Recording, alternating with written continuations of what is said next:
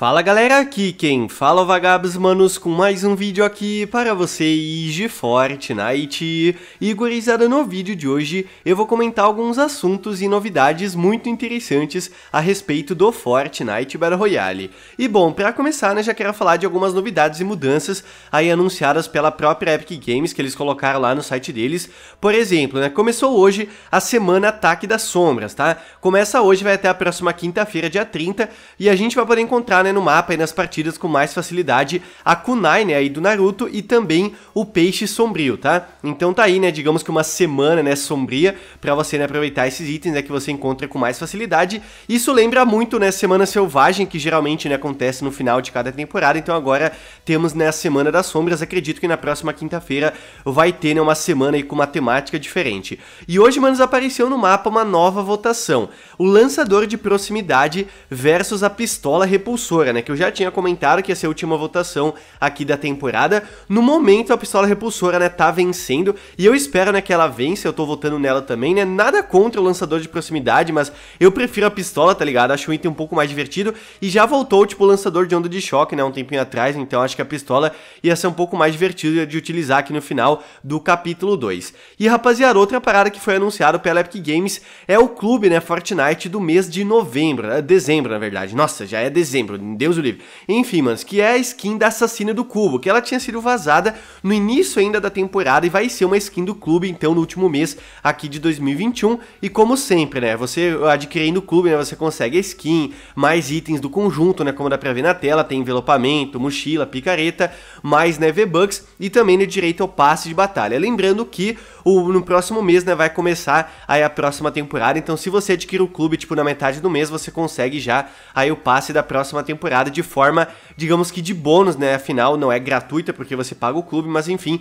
vem como bônus aí. E ontem, rapaziada, foi postado um teaser lá no Fortnite da Austrália, que ninguém tava entendendo, né, o motivo, mas pelo jeito tem a ver com uma nova parceria, né, com uma banda. Olhem só, o Janzitz, né, comentou que na noite passada, no perfil do Fortnite Austrália, fez um tweet, né, aparentemente sugerindo um novo gesto com a música Down Under, da banda de rock australiana Man at Work, junto né, com o lançamento de um mapa criativo australiano. Dá pra ver né, que um usuário né, comentou que uh, se, se tiver né, de fato um emote aí né, dessa música e tudo mais, ele ia ficar muito feliz, né, alguma coisa assim, e o Fortnite né, da Austrália respondeu né, com o emoji de olhinho, ou seja, né, indicando que de fato isso pode acontecer. Eu não tinha reconhecido a música pelo nome, mas eu fui escutar, é uma música que eu escuto há muito tempo, achei bem da hora.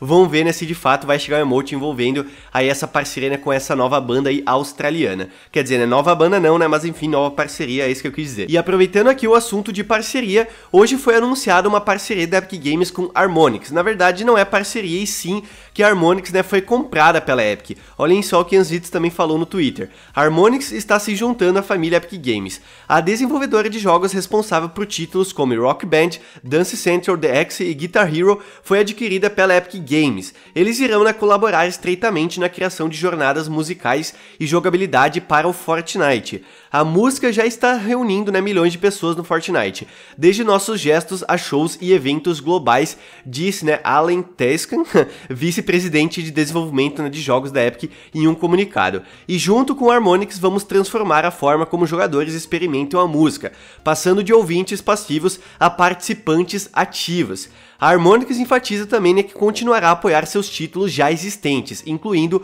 o Rock Band 4. E, manos, essa é uma parceria bem interessante, né? Envolve mais aí a música, né? Que vai ter em eventos aí e tudo mais. Só que uma parada interessante é que no ano passado a Epic Games, né, comprou a Psyonix. Não sei se foi no ano passado ou um pouco mais tempo, mas enfim. E depois, né, o Rocket League apareceu na loja da Epic, né, de graça. Teve toda a parceria com Fortnite.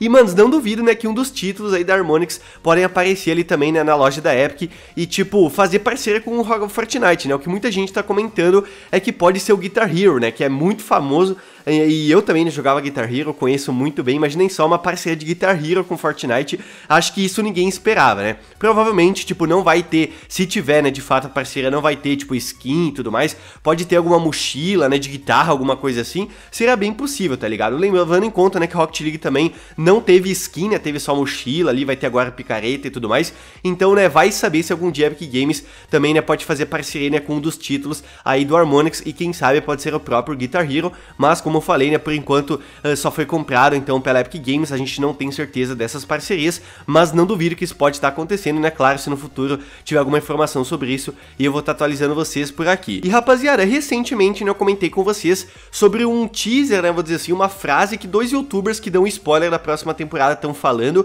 que é o Cypher e também o Tabor Hill, que é a frase Winter is coming, né, que eu já tinha comentado que tem relação né, com o inverno, pode ter né, relação com Game of Thrones também, mas uma coisa que muita gente está comentando né, a partir dessa frase falada por eles é que o inverno, tipo a neve, pode chegar no mapa através do cubo azul, né? Afinal, todo mundo tá prestando atenção né, nos cubos roxos se movendo pelo mapa, no cubo dourado, né, que agora tá no topo aí da pirâmide, mas ninguém falou mais sobre o cubo azul, né? Afinal, ele não se mexeu desde o início aí da temporada. E quem sabe, né, o cubo azul pode estar trazendo tipo a neve no mapa. E manos, realmente isso pode acontecer, né? Levando em conta, né, que azul tipo é uma cor, né, fria ali, né, que remete ao inverno, né, à neve e tudo mais. Então o que a galera né, tá falando é que tipo o cubo azul, né, vai ter relação, claro, com o final aqui do capítulo 2, mas né, pode ter relação com ele também, né, a neve que pode chegar no mapa aí no próximo capítulo. É apenas uma teoria, né, mas enfim, achei interessante comentar com vocês. Então comenta aí se você acha que isso faz sentido ou não.